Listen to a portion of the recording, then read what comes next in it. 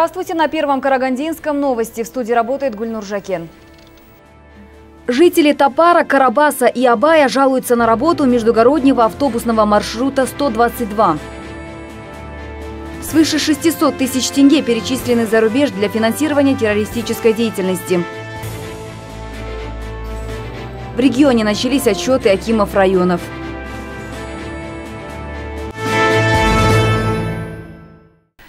Жители Топара, Карабаса и Абая жалуются на работу междугороднего автобусного маршрута 122. Видимо, повышение цены на проезд в общественном транспорте подвигло карагандинцев обратить самое пристальное внимание на качество обслуживания. Наш корреспондент разбирался в проблеме.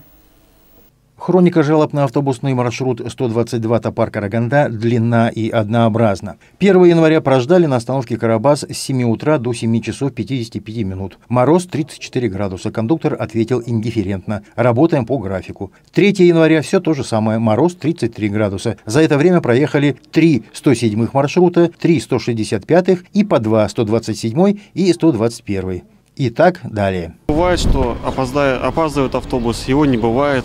Но я часто ездил на дежурном автобусе, это в 9 часов вечера. Предыдущий автобус едет, ну, часов 7, наверное. В восьмом 8 часов нет автобуса. Бывает мороз, я как-то стоял на остановке. Очень сильно замерз в это время. Температура внутри автобуса не намного выше, чем на улице. 122 набит битком. Кондуктор волнуется не за пассажиров, а за двери. Их могут поломать. Это не единичные случаи. Все усугубляется тем, что проезд на данном маршруте подняли со 120 до 180 тенге. Наверное, за вышеизложенные комфортные условия перевозки. Пассажиры очень хотят узнать, существуют ли вообще правила перевозок. Но хотелось бы увидеть их воочию и спросить, кто контролирует их исполнение. Могу ответить, что с января 2014 года в Казахстане утверждены новые стандарты автоперевозок пассажиров по междугородним маршрутам. Вот только их почему-то не афишируют. Сергей Высокосов, Габиден Курушпеков, Бахтияр Успанов, Первый Карагандинский.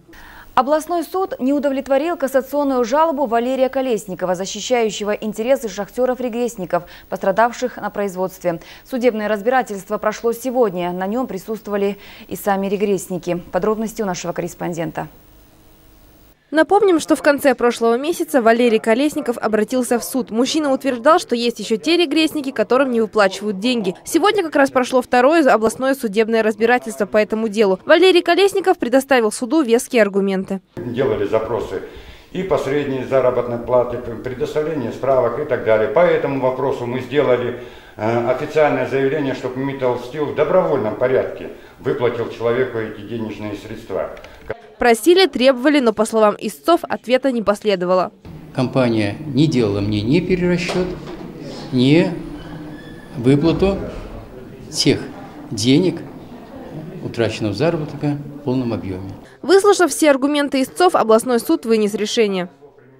Определение апелляционной судебной коллегии по гражданским и административным делам Карагандинского областного суда от 8 октября 2013 года по данному делу оставить без изменения. Кассационную жалобу представителей Саландина Колесникова без удовлетворения. До свидания. Валерий Колесников с этим решением не согласен. По словам правозащитника бывших горняков, он доведет это дело до конца и добьется компенсации для шахтеров. Амина Смакова, Карат Рашитов, Бахтияр Аспанов, Первый Карагандинский. В прошлом году был лишь один факт, когда гражданин вышел из-под стражи под залог. В этом году уже семь случаев. Один из них, когда гражданин, совершивший разбой, вышел под залог квартиры. Карагандинцы, подозреваемые в совершении преступлений, не пользуются возможностью выйти из-под стражи под залог. К такому выводу пришли прокуроры. Они считают, что горожане либо не владеют информацией, либо у них просто нет финансовой возможности заплатить залог.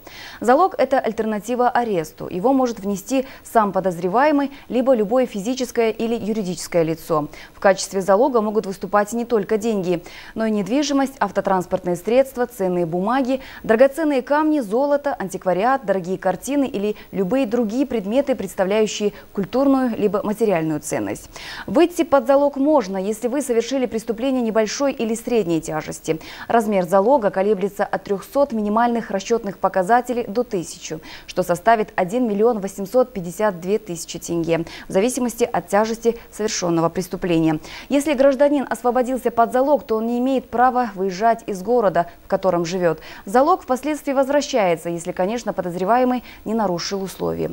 В выходе под залог могут отказать, если человек ранее судим, плохо характеризуется по месту жительства или состоит на учете в наркологии, психиатрии.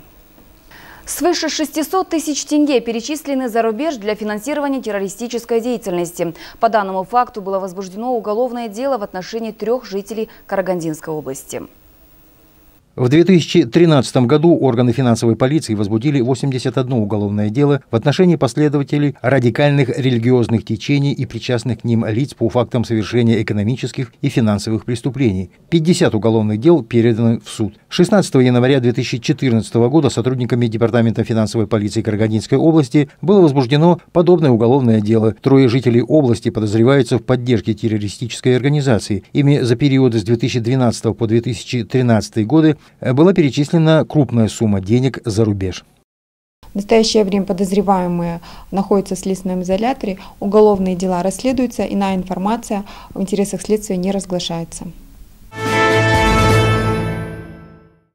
Аким района имени Казбекби отчитался перед жителями центра города. В своем отчете Аким отметил проделанные работы за прошлый год и рассказал о планах на этот. Также местные жители, приглашенные на заседание, могли задавать соответствующие вопросы. В отчете Аким затронул такие темы, как отопление, ремонтные работы дворовых территорий. Большое внимание Рустам Кабжанов уделил именно программе благоустройства дворов. Как только очередь дошла до движения транспорта, приглашенные на собрание жители сразу засыпали Акима вопросами. Причем негодование звучало в голосе каждого человека. Ереметова, Чецкая, потом э, Парижанова, нет автобуса. Почему? Хочу я это услышать от вас конкретно, потому что вы меняетесь каждый год а, а ситуация не меняется вообще. На этот вопрос негодующей женщины Аким ответил, что работа по вопросам, связанными с транспортами, уже идет и весьма большими темпами. Все вопросы, касающиеся проезда, все вопросы, касающиеся жалоб жителей относительно состояния подвижного состава, состояния работы водителей, кондукторов и всего, что касается э, этого вопроса, э, еженедельно рассматривается. Помимо этой автобусной проблемы, жители затронули другие темы – ремонт дорог, повышение проезда. Выслушав людей, Рустам Кабжанов заверил их, что все нормализуется. Ну, я вас просто уверяю, да, можете мне, конечно, сейчас верить, можете мне сейчас не верить, но я думаю, что в ближайшее время вы увидите положительные сдвиги. Амина Смакова, Ожас Габаса, Бахтияр Аспанов, Первый Карагандинский.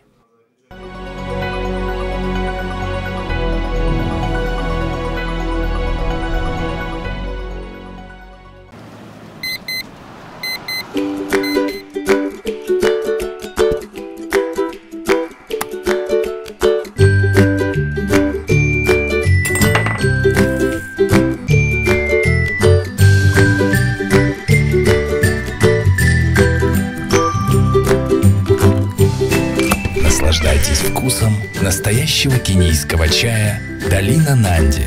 «Долина Нанди» – прекрасный выбор за вами.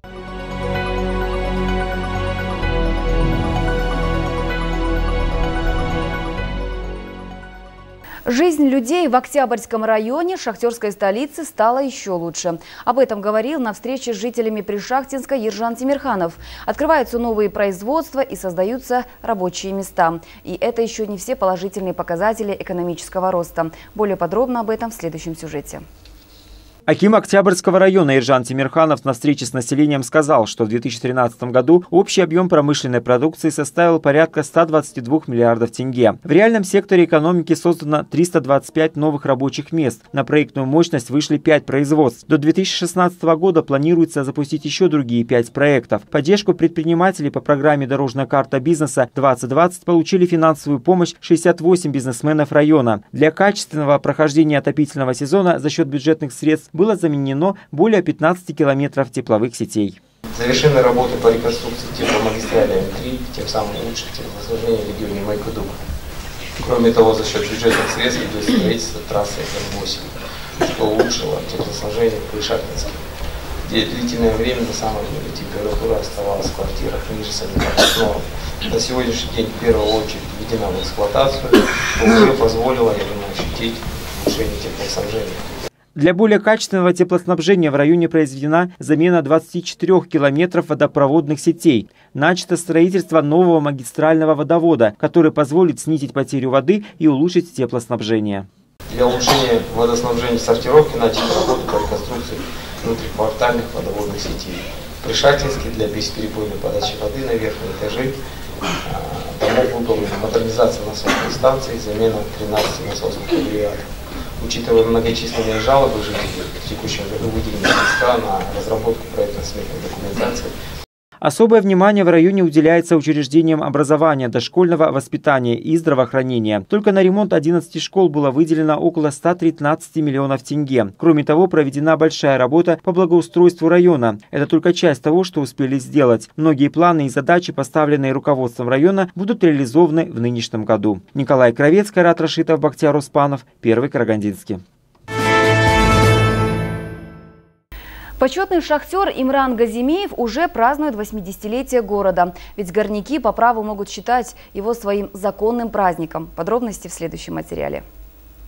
Шахтер Имран Газимиев родился в семье горняков. Его отец и сестра добыли немало угля в свое время. Сам же Игран Газимиев более 20 лет посвятил себя нелегкому горняцкому труду. Сначала работал проходчиком, а потом уже бурильщиком. Что касается последней профессии, то она немаловажна. Ведь бурильщики обеспечивают безопасность тем, кто добывает уголь под землей обслуживали шахту мы, наша буровая бригада, э, бурили дегазационные скважины. И наша организация подчинялась Министерству угольной промышленности СССР. А вот в задачи бурильщика что входит? Что входит? Бурить? В лаву, где движется комбайн. Была задача наша. После нашей пробуренной буровой скважины – комбайн проходил, и ему это не мешало проходить газ. Газ-метан – это самое страшное оружие для шахтеров. За многолетнюю службу тяжелый, но почетный труд шахтеров Имран Газимеев получил многочисленные награды и медали, которые по сей день не забывает надевать на праздники День города и День шахтера. Считайте, шахта Ленина мне. Вот это я заработал. Это шахтерской славы трех степеней кавалер считается. А это значит ударник 9, 10, 11, 12 лет. А вот с этой стороны, с моей справа, это орден Трудового Красного Знамени и отличник Министерства угольной промышленности СССР. К 80-летию шахтерской столицы горняк Имран Газимиев готовится уже сейчас. Праздновать он будет его вместе со своей большой и дружной семьей за большим столом. Ведь День города – это День шахтеров. Амина Смакова, Ожас Габасов, Бахтиер Испанов, Первый Карагандинский. Продолжаем выпуск. Работники прокуратуры города встретились со студентами и преподавателями Карагандинского государственного университета имени Букетова. Цель – обсудить послание главы государства и рассказать о главных принципах программного документа. Подробно далее. За прошедший год было рассмотрено 13 тысяч правонарушений, из них 6 тысяч административные. О том, что несоблюдение закона – дело наказуемое, говорится немало. Сотрудники прокуратуры уверены, чем чаще проводить профилактику мелких преступлений, тем больше молодые люди будут понимать и обдумывать свои проступки. Ведь только благоразумная молодежь может дойти до единой цели. А это один из главных принципов послания главы государства. Последнее послание президента Республики Казахстан, также предыдущее послание, то есть требования главы государства реализация требований главы государства по формированию терпимости в обществе к любым правонарушениям преступлений.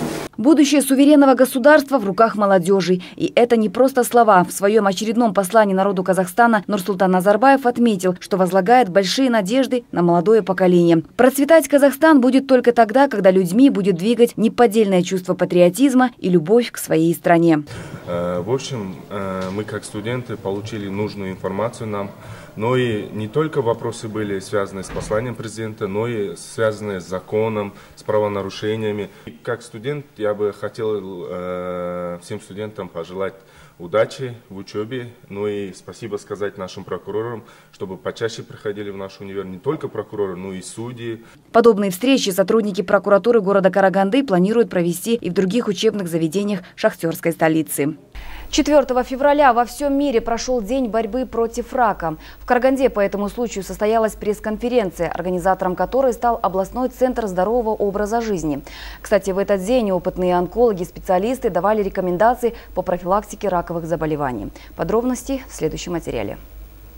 Во всем мире 4 февраля люди и врачи, победившие рак, и те, кто борется с ним, объединяются для того, чтобы совместно преодолевать и предотвращать эту страшную болезнь. На конференции как раз-таки обсуждались причины появления данного заболевания и то, как нужно с ним бороться на ранних стадиях. Все люди подвержены риску заболевания. Опытные специалисты советуют, помимо правильного здорового образа жизни, меньше нервничать и держать в себе только положительные эмоции.